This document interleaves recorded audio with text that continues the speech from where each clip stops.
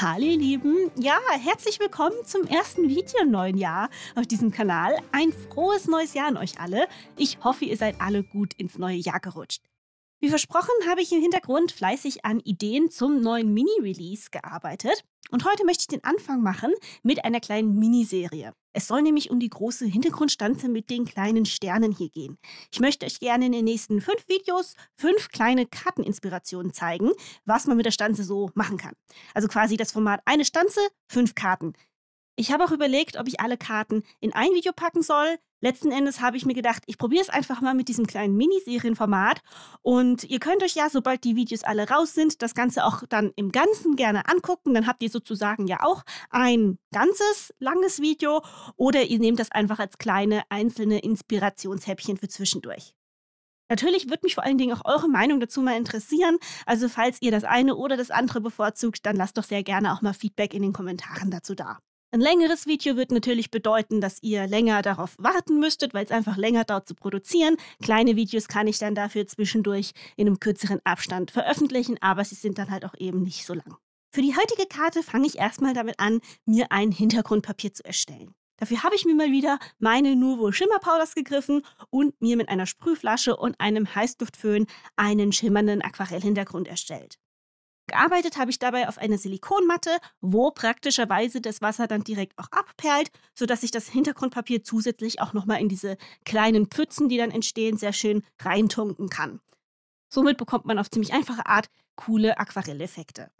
Und wenn ich dann fertig bin, lässt sich die Matte auch super easy reinigen, einfach mit einem feuchten Tuch kurz drüber wischen. Wie ihr auch seht, habe ich hier drei Farben insgesamt geschichtet. Die Grundfarbe bildet Violet Brocade und mit Blue Blitz und Cherry Bomb habe ich dann noch ein paar zusätzliche knallige Farbakzente gesetzt.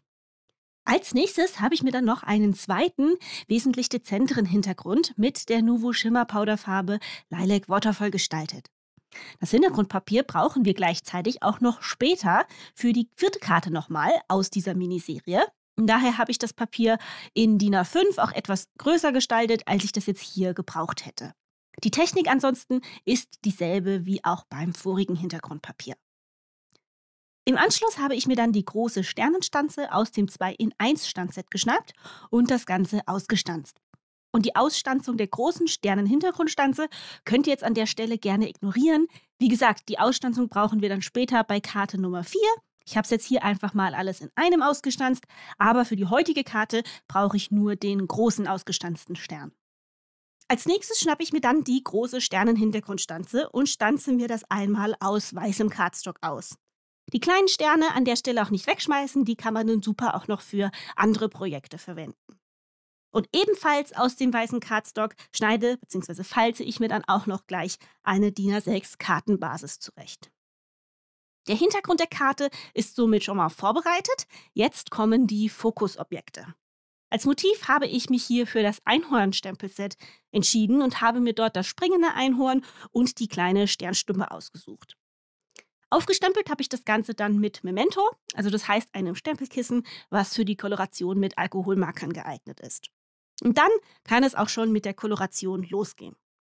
Damit das Motiv jetzt auch gut zu dem vorhin erstellten Hintergrund passt, habe ich dasselbe Farbkonzept auch hier wieder aufgegriffen, also das heißt Pink, Blau und Lila.